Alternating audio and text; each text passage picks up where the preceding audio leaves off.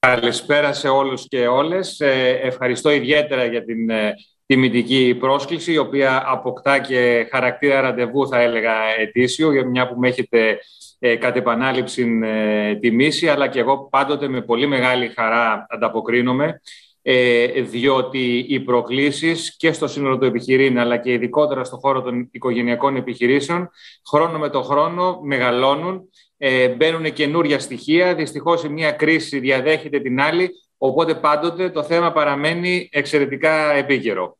Θα ήθελα λοιπόν να ξεκινήσω συγχαίροντας ε, θερμά την ε, KPMG ακριβώς για αυτή την συστηματικότητα με την οποία προσεγγίζει το θέμα για χρονικά του family business στην Ελλάδα και προσωπικά βεβαίως τον κύριο Αποστολάκη για τη διαχρονική του συμβολή στην ελληνική επιχειρηματικότητα και ειδικότερα τον, ε, με τον μετασχηματισμό των ελληνικών οικογενειακών επιχειρήσεων. Προφανώς και συγχαρητήρια φυσικά αξίζουν και σε όλη την, την ομάδα του.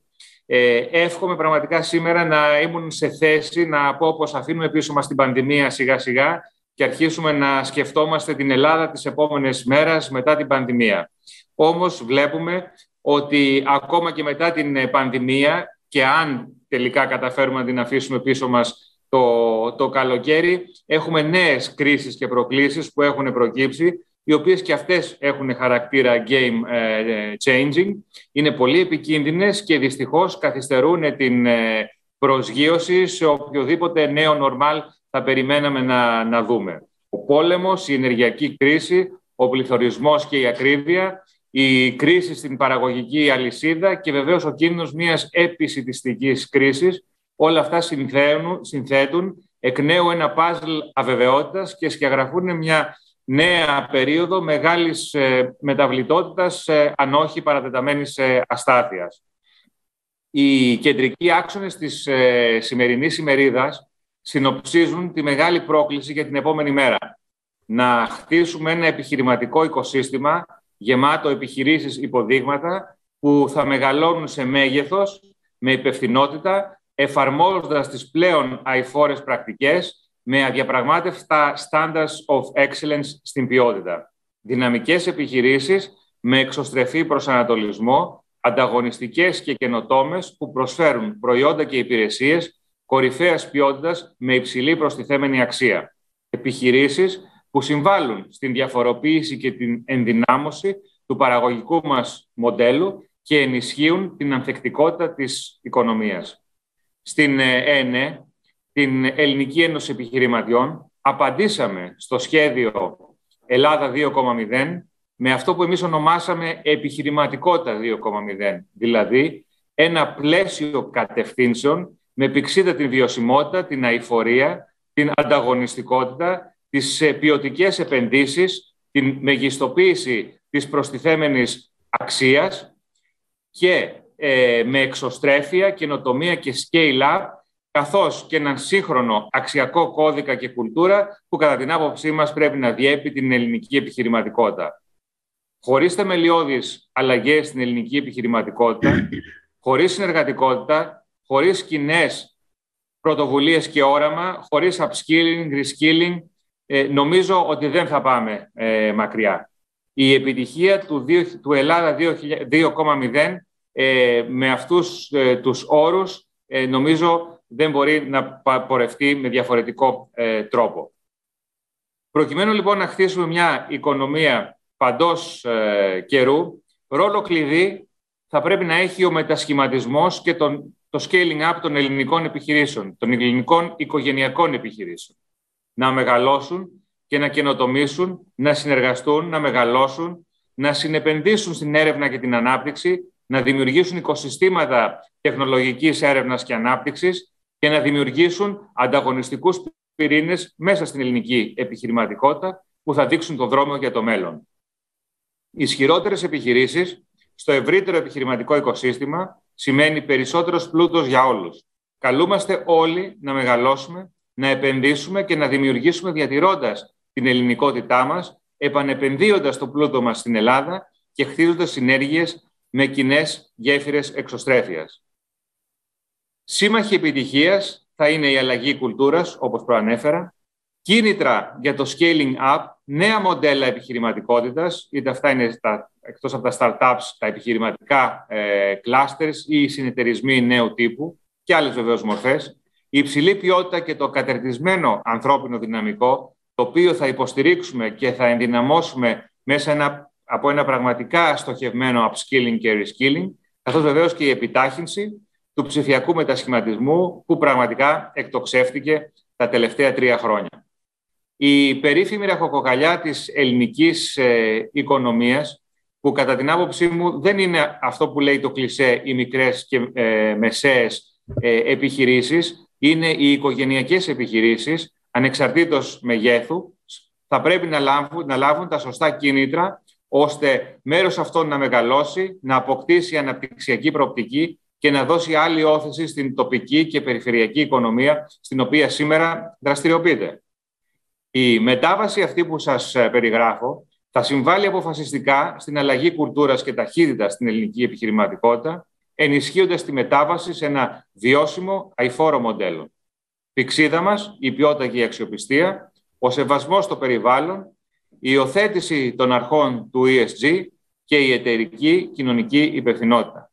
Κλείνοντας, είτε μιλάμε για ελληνική βιομηχανία, είτε για τον τουρισμό, είτε για τους ευρύτερους κλάδους των υπηρεσιών, με πηξίδα την υψηλή ποιότητα, την έμφαση στην ανάπτυξη κλίμακας, στο scaling up δηλαδή, και τα σωστά κίνητρα μπορούμε να χτίσουμε μια άλλη Ελλάδα για τα επόμενα χρόνια, που θα έχει στην αιχμή της την πολυμήχανη ελληνική επιχειρηματικότητα, η οποία άλλωστε πολλές φορές έχει αποτελέσει και πηγή εθνικής υπερηφάνειας σε όλους μας και φάρο προόδου. Έτσι, θα έρθει η πολυεπίπεδη αλλαγή κουλτούρα στην κοινωνία μας, που θα δώσει διάρκεια και βάθος στον κέριο μετασχηματισμό που θα έχει συντελεστεί στην οικονομία μας. Είναι στο χέρι μας να το πετύχουμε. Με σύμμαχο τις πρωτοπόρες οικογενειακές επιχειρήσεις που θα συνηγηθούν, είμαι βέβαιος, της κρίσιμης και αναγκαίας μετάβασης που συνοπτικά σας ανέπτυξα. Χαίρομαι ιδιαίτερα που και φέτος η Ελληνική Ένωση Επιχειρηματιών βρίσκεται στο πλευρό σας και με σημαντικές συμμετοχές δεν αναφέρθηκα καθόλου στον όμιλο του ιατρικού, την δική μας ιδιαίτερη οικογενειακή ε, και πολυεθνική σε κάποιο επίπεδο ε, επιχείρηση θα έλεγα, καθώς νομίζω εκπροσωπείται επαξίως αργότερα σήμερα στην ημέρα από τον εκτελεστικό αντιπρόεδρό μας, τον κύριο Χρήστο Αποστολόπουλο, σε ένα πολύ ενδιαφέρον round table. Πολλά μέλη επίσης του Συλλόγου Αποφύτων του London School of Economics, που έχω τη χαρά και την τιμή να προεδρεύω επίσης, θα παρακολουθήσουν και αυτά σήμερα μαζί μας τις εργασίες του συνεδρίου. Αναμένω, κύριε Αποστολάκη, με ιδιαίτερο ενδιαφέρον τα συμπεράσματα και εύχομαι ολόθερμα καλή επιτυχία στις εργασίες και σε όλους τους συνέδρους. Σας ευχαριστώ πολύ.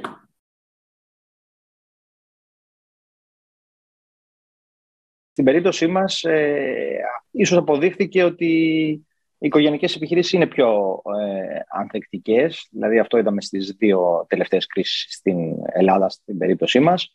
Ε, βέβαια, λόγω του, του μεγέθους του, του δικού μας, αλλά και του υβριδικού συστήματος ε, που έχουμε υιοθετήσει στη λειτουργία μας, και ίσως θα το πούμε έτσι λίγο πιο μετά, ε, ίσως να μην είμαστε το τυπικό παράδειγμα της ε, οικογενειακής ε, επιχείρησης. Θεωρούμε όμως πως συνδυάζουμε ε, το καλύτερο και των δύο μοντέλων, δηλαδή και της οικογενειακής και της πολυεθνικής επιχείρησης.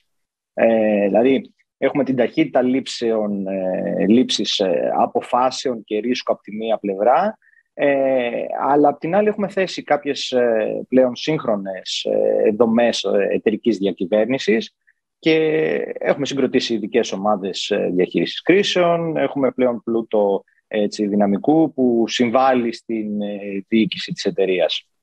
Ε, και αν ε, τώρα όλα αυτά, ε, σε όλα αυτά προσθέσουμε την μακρόπνοη στρατηγική μας, δηλαδή συγγνώμη, ότι ήμασταν, είμαστε και ευελπιστούμε να είμαστε εδώ και στο μέλλον, τότε καταλαβαίνετε ότι αυτό αποτελεί κέραιο σύμμαχό μας ε, στην διαχείριση των ε, προκλήσεων και των κρίσεων.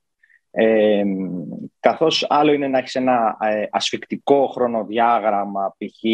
δεσμευόμενος από ένα συγκεκριμένο επενδυτικό κύκλο ε, λίγων ετών ε, ενός φαντ, για παράδειγμα, και εντελώς διαφορετικό να θέτεις μακροχρόνιους στόχους ή να επενδύεις στο μέλλον της υγείας όπως κάνουμε εμείς με ορίζοντα δεκαετίες.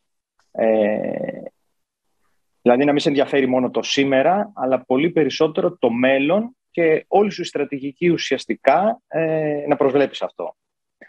Ε, τώρα, σε σχέση με τις κρίσεις που, που τις δύο κρίσεις που, που αναφερθήκατε, ε, ενδεικτικά στην οικονομική κρίση, ε, εμείς απαντήσαμε με επενδύσεις ε, και προσπαθήσαμε να κάνουμε ένα ακόμα άλμα στο μέλλον της ιατρικής ε, διευρύνοντας το, το προβάδισμά μας ε, επιχειρηματικά, τεχνολογικά και μάλιστα σε ένα δύσκολο περιβάλλον λιτότητας ε, και περιστολής δαπανών κλπ. Πήραμε όμως ένα ρίσκο, ε, όπως είχαμε πει, to invest our way out of the crisis. να δημιουργήσουμε δηλαδή αξία και να εμπνεύσουμε εμπιστοσύνη.